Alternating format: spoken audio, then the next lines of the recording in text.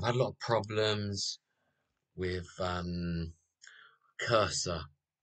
The cursor, the movement keeps dancing, keeps going off in different directions, and um, finally sorted out. So how can you do that? Okay, so um, first of all, you want to go to type in device manager. Go to the device manager and find keyboards.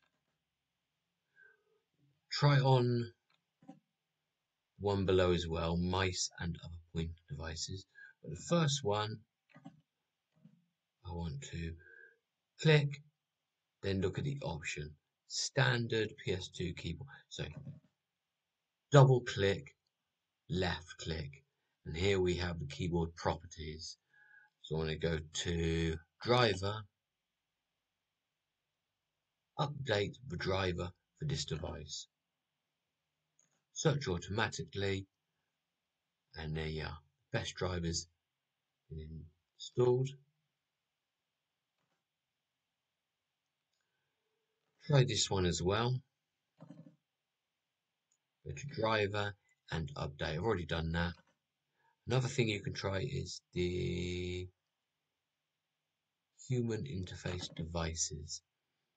So you can go to the touchpad filter drive and again update all these drivers if you're having any problem with um, cursor lagging movement problems or going in different or clicking. I was clicking the other day when it shouldn't be if not try uninstalling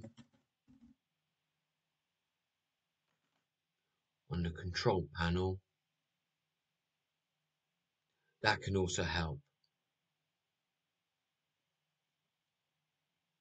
Uninstall any things you don't want is a second option. Computer might be too full. Thirdly, then try restarting.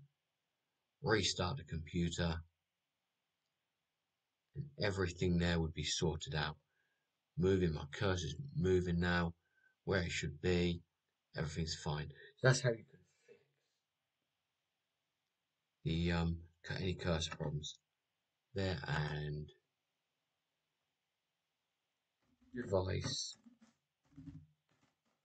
manager and the control panel.